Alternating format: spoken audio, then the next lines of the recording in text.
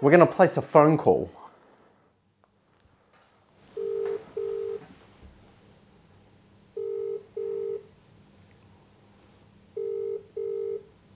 Mm, yes. You're not allowed to be mad. And why is that? I may have got a 3D printer. Oh, God.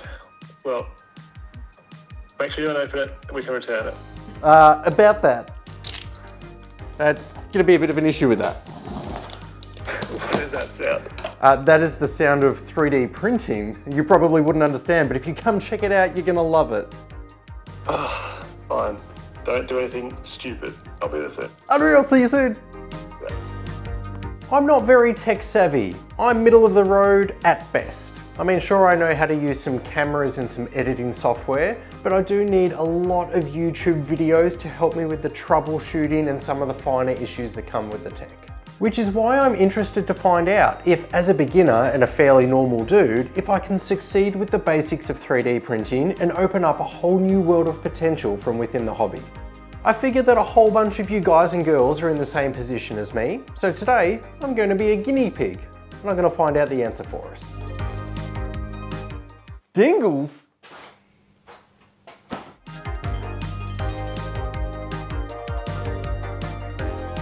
What should be a beautiful shared moment of classic unboxing almost results in me taking down the entire lighting system onto our heads. So I stress again, I have no buy-in or street cred to be able to compare this particular 3D printer to any other, and those videos will absolutely exist on YouTube from tech experts.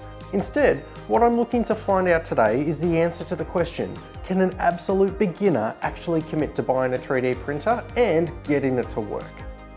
I've known about the benefits of owning a printer for years, but my hesitation to buy one I think is reasonable.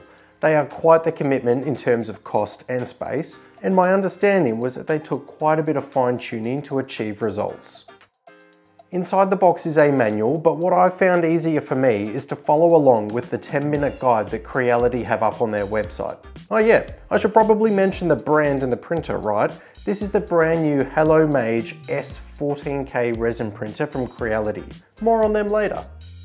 Everything is already assembled straight out of the box, which is a win because I want to get straight to printing. We follow the instructions to level the print plate, and now it's time to pick out something to create. I've jumped across to MyMiniFactory and found this Space Rambutan Colonial Pathfinder made by Papsikels Miniatures. Seeing how many models are on this site and other sites already has me pinging, but I'm trying to keep everything in check because so far I haven't even clicked print. Now I believe I can use their phone app to send this via Wi-Fi to the printer, but it takes the same amount of time to print one model as it does to print a couple, so using the Halot Box desktop app, I can drag and drop a handful of models onto the imaginary tray. Export onto my USB, I plug it in, and now the moment of truth. Safety message time. Working with resin requires care. Now that we are getting to the printing, on go the gloves and the safety mask, and we open the door to the outside world plus the windows to get some airflow going. This particular printer has a charcoal air filtration system and I was curious myself so I brought down my own air testing equipment and whilst it didn't detect any harmful levels of toxins in the air, I think it's best to still play it safe. When in doubt, refer back to the manual and also check out the text guides online. My expectation from here is that I can just fire and forget, meaning that I could turn the print on and then go to work with the comfort of knowing that when I get home, there will be new models waiting for me. After a couple of hours, the machine is telling me that the print is finished. The moment of truth. All right, everything is where it's supposed to be, but tactical move here, I hand the tools over to Dingles so that if he damages the prints, I can avoid any blame. Here's the bonus items I hadn't shown off yet. To transition these models from harmful to handle resin to ready to play or paint minis is this space age looking capsule, dual wielding as a washing station and then a UV curing bed. Five minutes in the bath, then I remove the printing supports and pop these lads onto the tanning bed for another five minutes.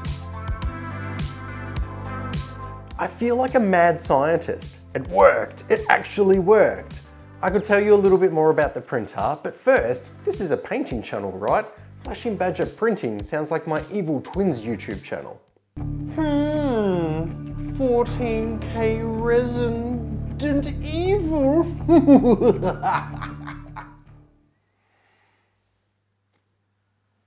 that hurts every time. Sorry about that. Let's put some paint on this model. No sub-assembly, I'm going straight in and beginning with a white prime. Base coats are first, and sometimes I work on one area at a time, such as painting the armour from start to finish, but this time around it will be all base coats.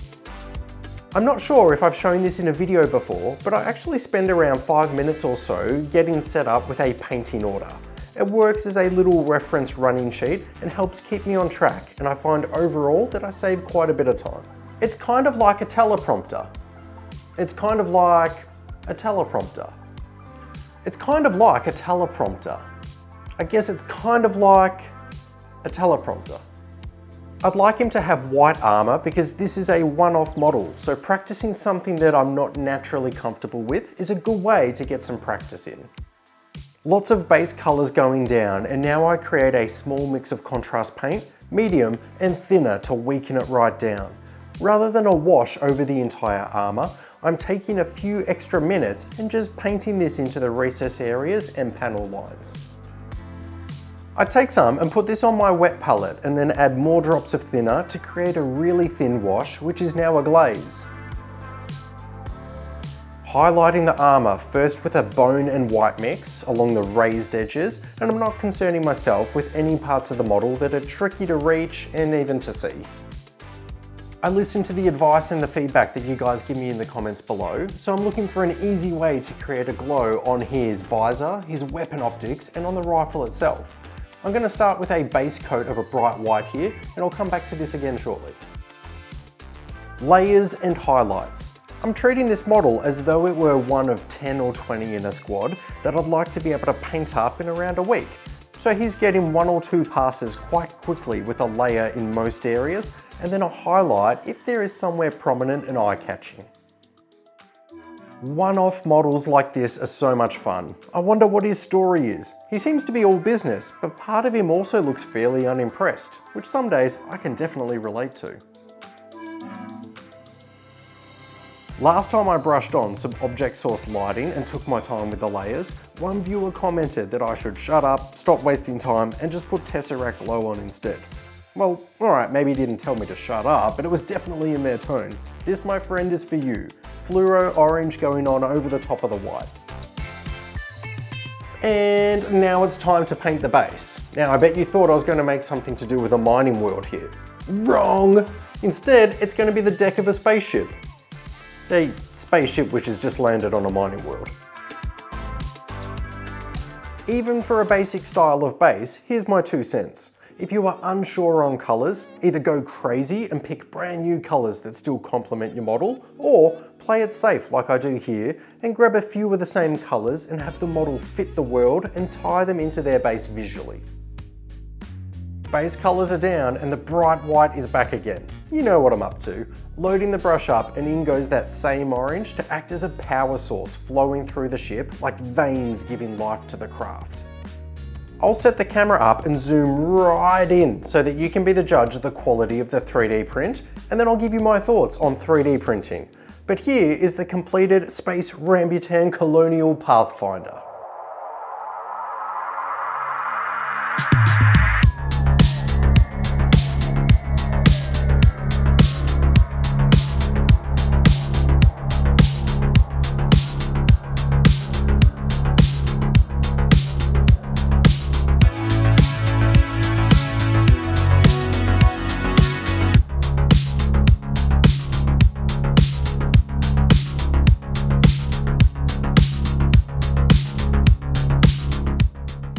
What did I think of the Halot-Mage S 14K resin 3D printer from Creality?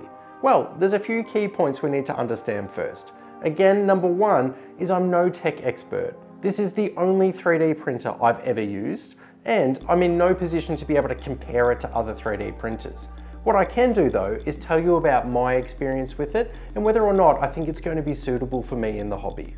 The second thing to understand is that this video is also a promotion for Creality. They were amazing and kind enough to send me this 3D printer. Now I don't put those mid-roll ads throughout my YouTube videos because I don't feel they serve any purpose to you. A whole bunch of products and services that don't relate to miniature painting is no good. However, that does mean that every now and then I will partner with a product or a service that I believe can genuinely help both of us within the hobby. So with that being said, what do I genuinely think of this 3D printer? And I'll be honest, I was worried coming into this video. I'd allocated an entire week to what I thought would be having to unbox, build, tinker with, watch a whole bunch of different guides, and then test print heaps of models before I could actually get comfortable with it. So what you saw in this video is my genuine experience with it. I was amazed that we could simply unbox, level the plate, and then begin printing. This is really cool, and I mean 3D printing in general. It's obviously gotten to a point in the design process of these machines that now someone who's a beginner with low IQ of tech can get involved and start printing. Dingles and I are already queuing up a whole bunch of different models that we'd like to print, but we're also toying with the idea of creating our own small mini projects with the design element of 3D printing. If you are in the market for a 3D printer, or if this video inspired you to now get involved, I recommend that you appraise yourself with the information available online. There's a whole host of reviews, including glowing reviews for the Creality 3D printers. If you are interested in a 3D printer from Creality or any of their accessories, including their printing resins, well, I'll add a link pinned in the comments below and also in the video description. That will be an affiliate link, so any purchases you make also go to supporting this channel. If you've made it this far into the video, it's because you're awesome and I won't be hearing any argument to suggest otherwise. Fun facts, if you click the like button below, this tells YouTube that they should recommend my videos to the rest of our hobby community. And also, if you leave a comment, well that tells me that there's a human on the other end of these videos and inspires me to keep creating more. These people are our patrons and they support the channel financially. Now to give you an idea of how amazing they are, well, if I was a parolee on an episode of Law & Order and the cops tried to leverage me for information while I was working at the docks, I'd wait until I was presented with a crisp Alexander Hamilton before I snitched on any of their whereabouts. Thank you all so much for watching. Thank you to Creality for supporting a dorky little YouTube channel by sending me the printer. And thank you above all else to Dingles. After two long years, we finally managed to get you in front of the camera and you were awesome. You absolute Chad. People want to see more of you. Thank you all. I'll see you on the next one.